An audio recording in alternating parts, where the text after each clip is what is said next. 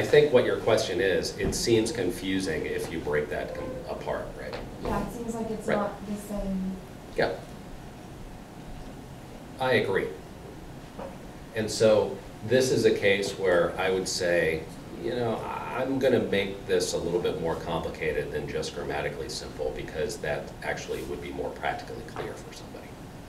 You know what I mean? And that's why uh, sometimes with the, uh, the takeaway that people mistakenly get with my introducing the concept of simple sentences presentation is Professor Fricke hates complicated sentences. No, that's not the case. Um, I think that they're overused unthinkingly. Um, if it's more clear to use a simple sentence, use a simple sentence. If it's more clear to use a sentence that's more complicated, use a more complicated sentence, but be mindful of what you're doing. But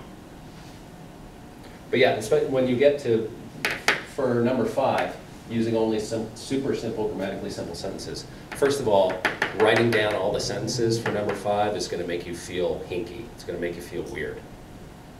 And second of all, if you reread it, especially out loud, you're going to be like, wow, that sounds super incredibly choppy and not very clear. That's kind of the point. Is that helpful?